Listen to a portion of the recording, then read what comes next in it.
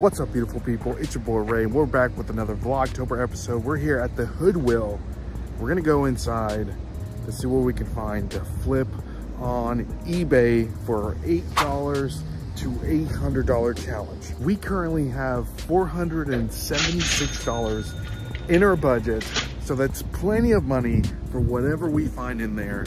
But hopefully we can keep that rolling, rolling, rolling, baby. So let's go in there, see what we can find. And later on, my wife and I are gonna go to a little dinner. So let's go, baby.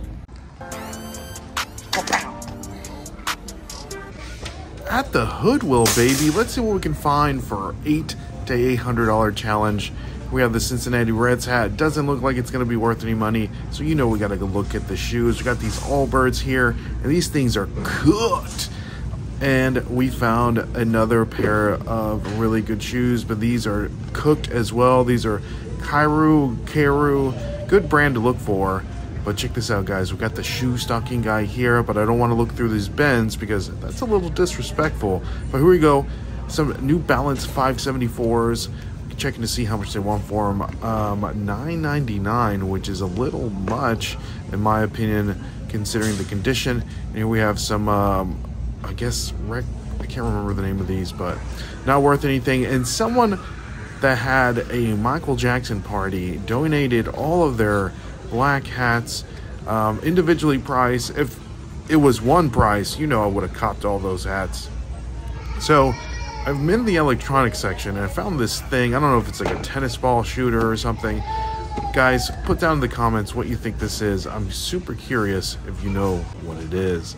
Here we are in the toy section. You know, this is where I make my money, baby. So let's see what we got here. We have some plastic dinosaurs. Not the ones that you want. These are just kind of like the cheap ones that you would get like in a bucket. A bucket like of 100 or 50 or 25. But uh, here we go. On the bottom shelf, we find this nice little Paw Patrol Sky plush. Really big at 12 inches, I believe. Pause. 12 inches. So really nice. So we're going to put that in our cart and check it for later. And here we have Esponja Bob. Bob Esponja. SpongeBob SquarePants himself. So we're going to throw in that in there. We have a nice little Minecraft plushie I think this is the zombie. Some of these could be worth some pretty good money, so I was excited to find this. So we're going to check the price on this here in a little bit. And look at here, guys. Another really nice plush. We have a Lego Stormtrooper. These are really nice. I've sold the uh, Darth Vader one before. And check this out, guys. Today's been hitting. The Build-A-Bear How to Train Your Dragon Dragon. I don't know how much this is going to cost, but we're going to look that up later. And look at the bottom shelf. Someone is a huge champagne wine drinker. Crazy. And we have this nice little cute piggy and this uh, Fortnite pinata, which is not worth anything after I looked up, looked it up, and a nice little dinosaur, a little surfing dino. So time to look up these plushes. Let's start with Mr. SpongeBob himself. $14.99, not enough meat on the bone for me to pick him up, so we're gonna have to put him back. Let's see what the zombie Minecraft character, $9.99, still not enough meat on the bone, so we're gonna have to put him back. Strike two, let's see here, the Build-A-Bear Dragon, not enough meat on the bone. Man, strike three. Sky, are you gonna save us? Are you gonna save us? We have the Stormtrooper here. Still, not enough meat on the bone for us to make a good profit after fees.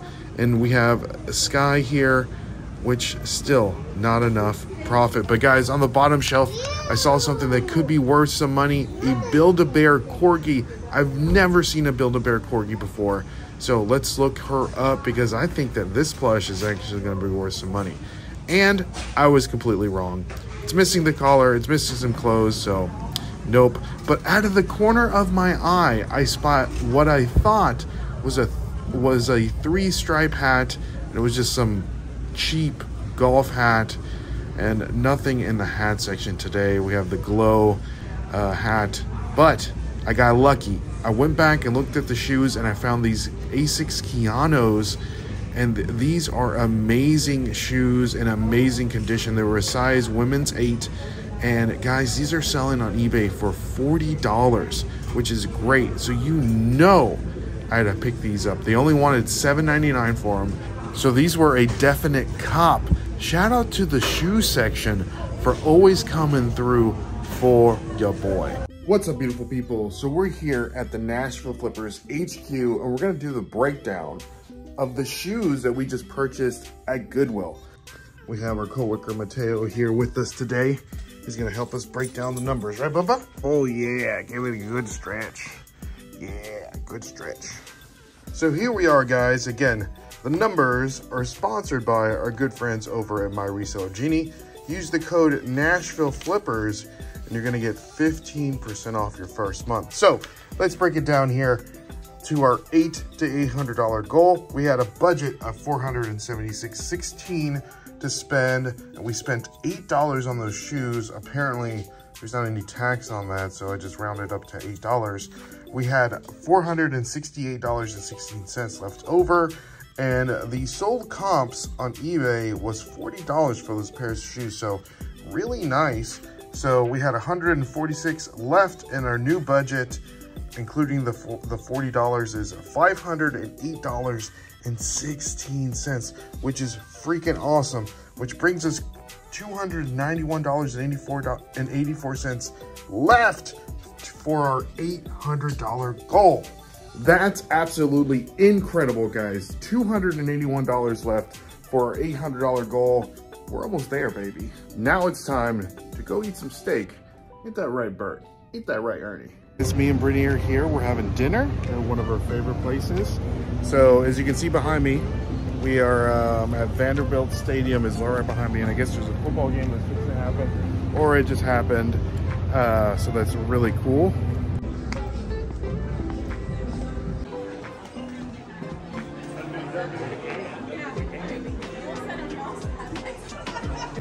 So for appetizer, guys, we went for the classic. What is this, Britt?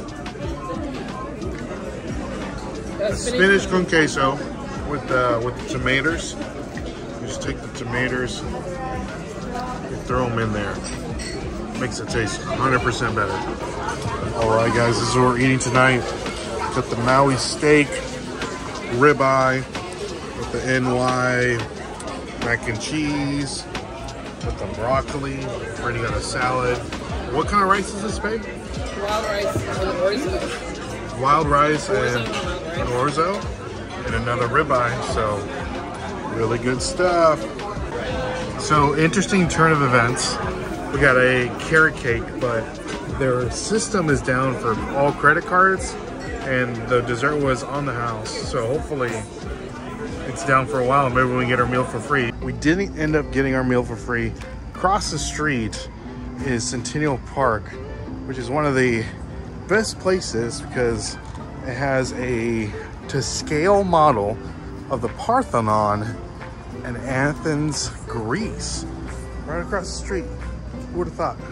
And that's another Vlogtober episode in the books. If you're not already following Kristen and Rural Squirrel and Angie Resells, make sure you do that because they are also doing a Vlogtober with your boy. So thank you so much. If you haven't already subscribed to us, make sure you subscribe. And like always, we'll catch you on the flip side, baby. Peace.